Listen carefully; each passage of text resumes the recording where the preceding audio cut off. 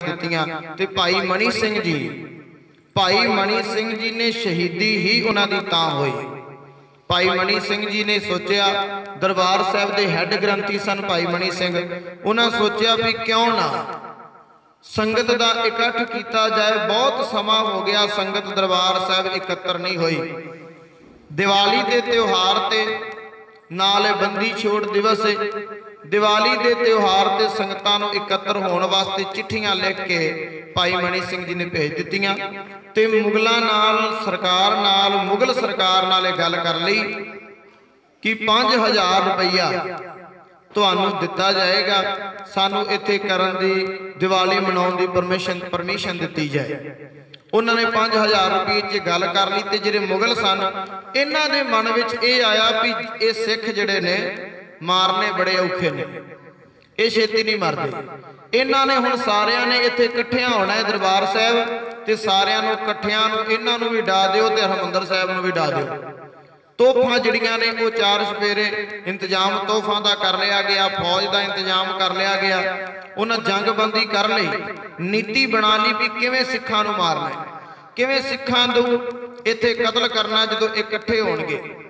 ਤੇ ਗੁਰਮੁਖੋ ਭਾਈ ਮਣੀ ਸਿੰਘ ਜੀ ਨੂੰ ਇਸ ਗੱਲ ਦਾ ਪਤਾ ਲੱਗ ਗਿਆ ਕਿ ਮੁਗਲਾਂ ਨੇ ਇਹ ਵਿਉਂਤ ਬਣਾ ਲਈ ਏ ਵੀ ਜਦੋਂ ਸਾਰੀ ਸੰਗਤ ਇਕੱਠੀ ਹੋ ਜੇ ਉਦੋਂ ਇਹਨਾਂ ਤੇ ਗੋਲੀਆਂ ਤੇ ਤੋਪਾਂ ਦੇ ਗੋਲੇ ਚਲਾ ਦਿਓ। ਭਾਈ ਮਣੀ ਸਿੰਘ ਨੇ ਆਖਿਆ ਵੀ ਇਹ ਕਲੰਕ ਤਾਂ ਸਾਰੀ ਰਹਿੰਦੀ ਦੁਨੀਆ ਤੱਕ ਮੇਰੇ ਮੱਥੇ ਤੋਂ ਨਹੀਂ ਲੈਣਾ। ਜੇ ਮੇਰੇ ਕਰਕੇ ਸਿੱਖ ਸੰਗਤ ਦਾ ਐਡਾ ਵੱਡਾ ਨੁਕਸਾਨ ਹੋ ਗਿਆ। ਕਿਉਂਕਿ ਮੈਂ ਸੱਦਾ ਪੱਤਰ ਭੇਜਿਆ ਮੈਂ ਇਹ ਪ੍ਰੋਗਰਾਮ ਰੱਖਿਆ ਮੇਰੇ ਕਰਕੇ ਜੇ ਸਿੱਖ ਕੌਮ ਦਾ ਐਡਾ ਵੱਡਾ ਨੁਕਸਾਨ ਹੋ ਗਿਆ, ਤੇ ਇਹ ਕਲੰਕ ਨਹੀਂ ਮੇਰੇ ਮੱਥੇ ਤੋਂ ਲੈਣਾ। ਭਾਈ ਮਣੀ ਸਿੰਘ ਜੀ ਨੇ ਦੁਬਾਰਾ ਚਿੱਠੀਆਂ ਲਿਖੀਆਂ, ਸਮੁੱਚੀ ਸਿੱਖ ਸੰਗਤ ਨੂੰ ਦੁਬਾਰਾ ਚਿੱਠੀਆਂ ਭੇਜੀਆਂ ਕਿ ਸੰਗਤ ਇੱਥੇ ਨਾ ਆਵੇ। ਇਹਨਾਂ ਦੇ ਮਨ ਦੇ ਵਿੱਚ ਖੋਟ ਆ ਗਈ ਏ। ਇਸ ਕਰਕੇ ਇਸ ਪ੍ਰੋਗਰਾਮ ਨੂੰ ਰੱਦ ਕੀਤਾ ਜਾਂਦਾ ਹੈ। ਭਾਈ ਮਣੀ ਸਿੰਘ ਦੀਆਂ ਚਿੱਠੀਆਂ ਮਿਲੀਆਂ, ਸੰਗਤ ਨਹੀਂ ਆਈ। ਜਦੋਂ ਸੰਗਤ ਨਹੀਂ ਆਈ ਤੇ ਫਿਰ ਚੜਾਵਾ ਕਿੱਥੋਂ ਹੋਣਾ ਸੀ? ਉਹਨਾਂ ਨੇ ਭਾਈ ਮਣੀ ਸਿੰਘ ਨੂੰ ਦੇ ਨਾਲ ਜਿਹੜਾ ਦਿਨ ਨਿਯਤ ਕੀਤਾ ਸੀ, ਉਸ ਦਿਨ ਤੇ ਕਹਿਣ ਲੱਗੇ, ਪੈਸੇ ਜਿਹੜੇ ਨੇ, ਮੁਕਾਏ ਤੁਸੀਂ, ਉਹ ਪੈਸੇ ਦਿਓ। ਭਾਈ ਮਣੀ ਸਿੰਘ ਕਹਿਣ ਲੱਗੇ, ਗੁਰੂ ਦਾ ਸਿੱਖ ਆਪਣੇ ਬਚਨ ਤੋਂ ਕਦੇ ਫਿਰਦਾ ਨਹੀਂ।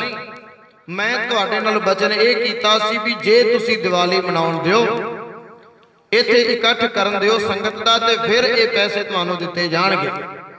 ਉਹਨਾਂ ਨੇ ਆਖਿਆ ਵੀ ਮੈਂ ਇਹ ਪੈਸੇ ਹੁਣ ਤੁਹਾਨੂੰ ਕਾਹਦੇ ਲਈ ਦਿਆਂ? ਤੁਸੀਂ ਸੰਗਤ ਦਾ ਇਕੱਠ ਹੀ ਨਹੀਂ ਹੋਣ ਦਿੱਤਾ, ਤੁਹਾਡੀ, ਤੁਹਾਡੇ ਮਨ ਦੇ ਵਿੱਚ ਖੋਟ ਆ ਗਈ।